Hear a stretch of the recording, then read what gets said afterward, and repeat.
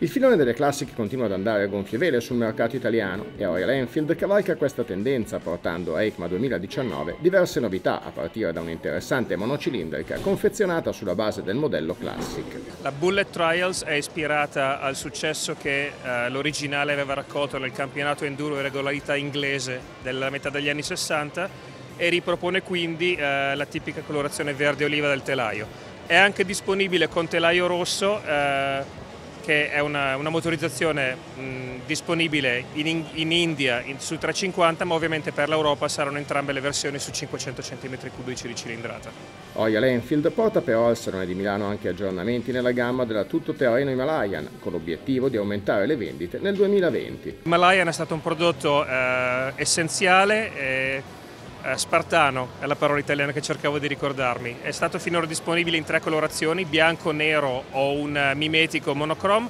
Finalmente sono disponibili due colori veri, quindi nero-rosso e bianco e blu. Uh, il successo dell'Himalayan è stato abbastanza stabile, nei, sia nel primo che nel secondo anno di introduzione abbiamo venduto intorno alle 500 unità, uh, l'ambizione di portare il risultato verso le 700 unità all'anno solo per l'Italia. Royal Enfield mostra infine a Milano anche alcune proposte che stuzzicano i clienti attenti non solo allo stile ma anche alle prestazioni, sfruttando la partnership con un marchio molto blasonato. Fa parte del gruppo Harris Performance che è un marchio storico del, dell'agonismo inglese eh, motociclistico turistico. Abbiamo lavorato con Harris per lo sviluppo dei telai Himalayan e 650 Interceptor.